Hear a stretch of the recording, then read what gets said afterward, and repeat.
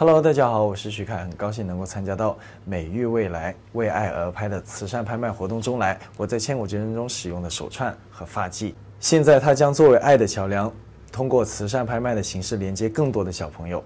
慈善拍卖的善款将用于巴沙课后一小时美育公益项目，助力乡村美育教育的发展。美育未来，爱一直在。